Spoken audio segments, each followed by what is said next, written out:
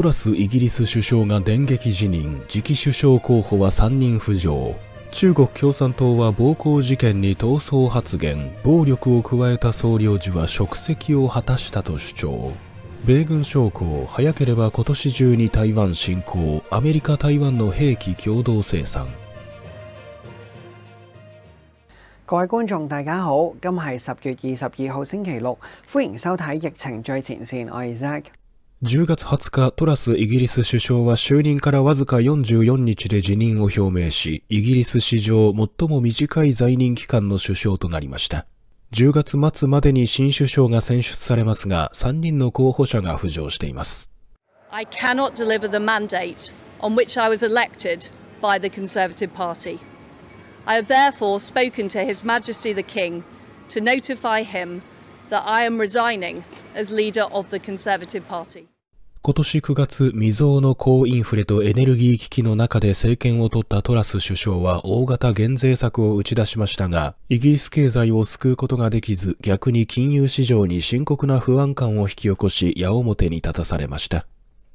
財務省を解任したにもかかわらず、トラス氏はなかなか状況を挽回することができず、19日、スエラ・ブラバマン内相が辞任した後、トラス氏はついに退陣を求める声に抵抗できず降参したのです。新首相の選挙は来週にも完了する見込みです。イギリス議会ではすでに保守党が議席の過半数を占めており、新党首が選出されれば自動的にトラス氏に代わって新首相に就任することになります。新首相の人選には、リシ・スナク前財務相とペニー・モーダント前国防長官が含まれる予定です。ザ・タイムズによると、ジョンソン元首相も首相選に再出馬する見通しだといいます。次のニュースです。イギリスの中京領事館職員に殴打された被害者のボブ・チャンさんは10月20日、イギリス国会議員イアン・ダンカン・スミス氏とアフザル・カーン氏と共に記者会見を開き、中国共産党、中共の嘘を非難し、事実を明らかにしました。一方、暴力事件に関与した鄭義元総領事は職責を果たしたと弁解しました。中共外交部は第20回党大会の記者会見で中国領事館での殴打事件に間接的に返答する闘争発言を行い、中共の戦狼外交に対する世界の認識を新たにしました。Let me say it again so it is clear. I was dropped into the consulate. I did not attempt to enter the consulate. ボブさんは領事館の中に引きずり込まれたことを明らかにし、北京が主張するように誰かが領事館に入ろうとしたわけではないと述べています。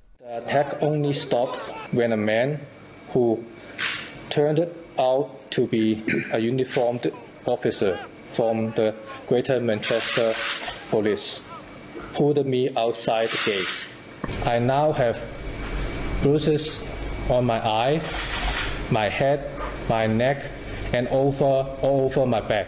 その後、ボブさんは病院に運ばれ治療を受けました。彼はまた自分の身分がバレたら家族が脅かされるのではないかという不安を抱えています。I fear I may be silenced by the powers that be. I fear for the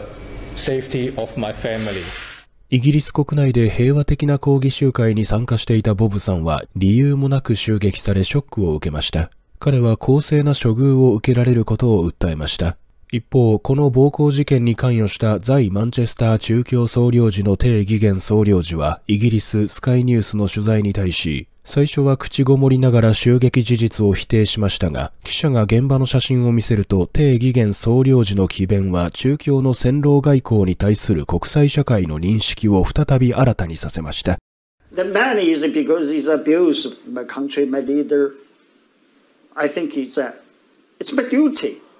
to pull his hair. Yeah, I think it's a, any diplomats. 撕扯抗议者的头发根本就不是领馆的职责。这个总领事连领事的职权都不知道，领事的职权是保护和服务在他所派驻的那个国家的本国公民，他没有任何权利可以破坏这个派驻国的公民和居民的权利，包括抗议的权利和言论自由。敢于斗争是中国外交的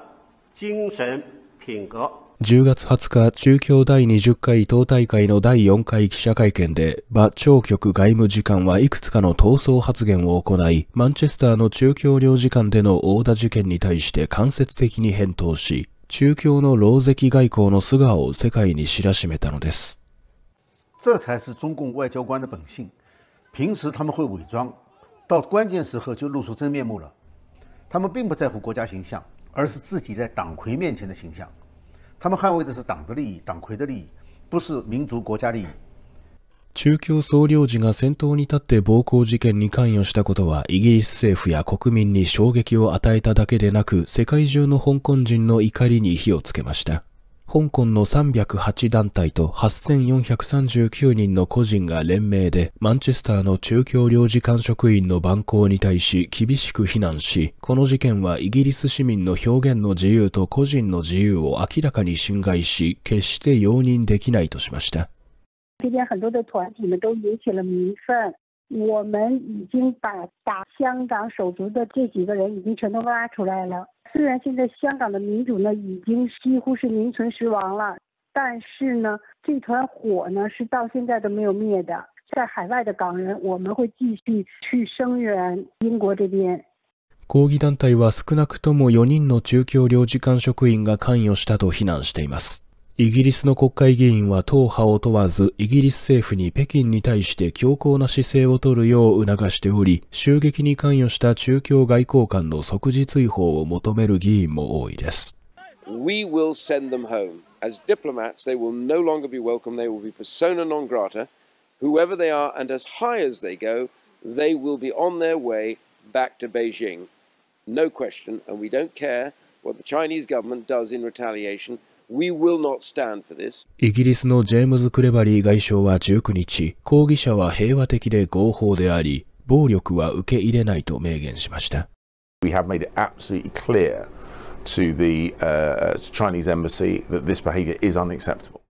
最後のニュースです。中共の習近平総書記は第20回党大会の報告で台湾への武力統一を諦めないと再度表明し各方面から懸念を引き起こしています。アメリカシンクタンク大西洋評議会が開催したフォーラムでアメリカ海軍作戦本部長のマイケル・ギルデー提督は、これは習近平の個人的な発言ではなく、中共全体が行っていることだと述べました。ブリンケンアメリカ国務長官が最近、中共は台湾攻撃のタイムテーブルを早めようとしていると発言したことを受け、ギルデー氏は、中共が台湾侵攻を早めることは排除できず、米海軍は常に戦備状態になければならないと述べています。When we talk about the 2027 window, uh, in my mind, uh, that has to be a 2022 window or potentially a 2023 window. I can't rule that out. I don't mean at all to be alarmist by saying that. It's just that we can't, we, we can't wish that away. 一方、マイク・ギャラガーアメリカ下院議員は16日に発表した声明で、習近平の発言に対し、中国共産党はアメリカの国益に対する最大の脅威であることを再び示したと指摘しました。また、中共軍が台湾近海を支配し、台湾に上陸することを防ぐために各種ミサイルの配備、生産を増強し、台湾との軍事協力を強化する反海軍戦力の構築をアメリカに呼びかけました。Now, the third and final step in building uh, this anti Navy is to turn all of the talk about arming Taiwan to the teeth into reality. This starts with moving Taiwan to the front of the foreign military sales line and clearing the backlog of $14 billion worth of FMS items that have been approved but not delivered to Taiwan. この他にアメリカは中共の台湾侵略に多方面で対応しています。 ロイターは10月19日、アメリカ台湾ビジネス評議会のルパート・ハモンド・チェンバース会長の発言を引用し、アメリカ政府は台湾とアメリカ式兵器を共同生産し、台湾への兵器引き渡しを早め、中共への抑止力を強化することを検討していると報じました。関連計画はまだ議論の初期段階であり、どの兵器を共同生産するかはまだ決まっていませんが、より多くの軍需品やミサイル技術の台湾への提供に焦点が当てられる可能性が高いとしました。今日嘅疫情最前線就到呢度，多謝各位收睇。守護真相絕對唔會放棄，我哋嘅堅守需要大家大力嘅支持，更加需要大家訂閱我哋 Patreon。我係 Zack，下次再同大家見面。俾多啲鼓勵我哋。